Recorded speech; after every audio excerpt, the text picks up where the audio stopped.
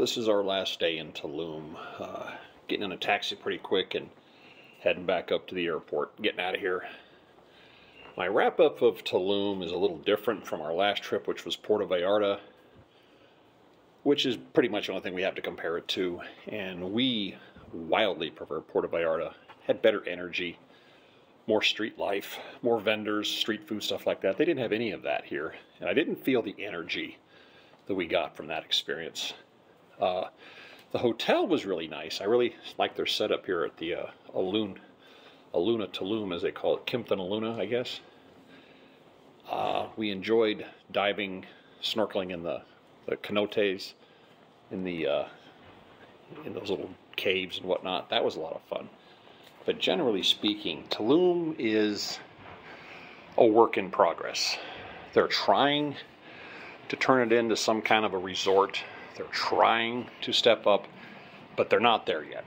And whereas in Puerto Vallarta, you could walk out the door of the hotel and you were in the middle of the action, we got on our scooter and rode all over this town and we didn't find the action anywhere, literally.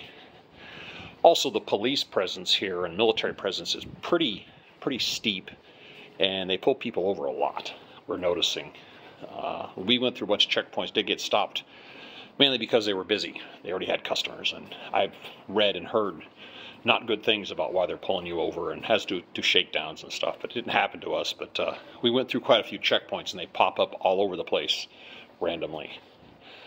And uh, along the water line, where the the hotel zone, as they call it, I rode the length of the hotel zone on my scooter, and I'm talking till the road ended. And I didn't find a single place down there that made me want to stop and go, "Hey, let me go check that place out." I mean, it just it just didn't have any area that really attracted us to want to go spend time, which is kind of sad. But so that's where we're at for for here in this experience. Again, we enjoyed being on vacation. We enjoyed having downtime. But for vacation resorts, I'm not going to put this on a recommendation list.